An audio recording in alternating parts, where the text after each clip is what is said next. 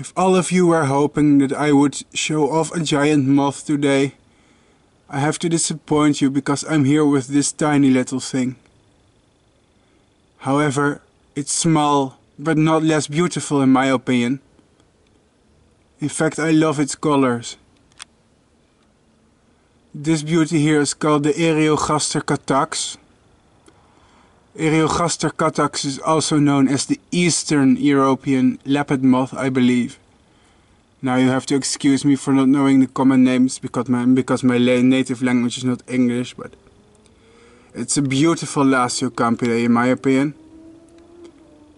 And what's interesting is uh, I've read, at least on the internet, that they can remain their cocoons for multiple years. So maybe I'm lucky that they decided to hatch today.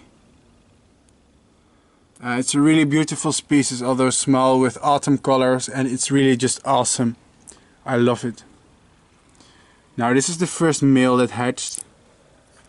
And of course all of you are wondering, will I breed them? The answer is yes. If I manage to pair them, of course, is always the biggest challenge.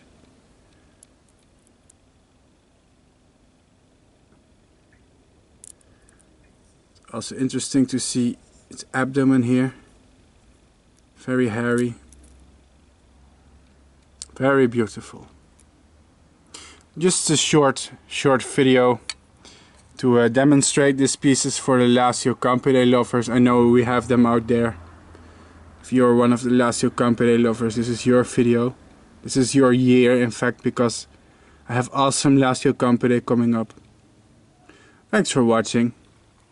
This was Bart with Eriogaster catax.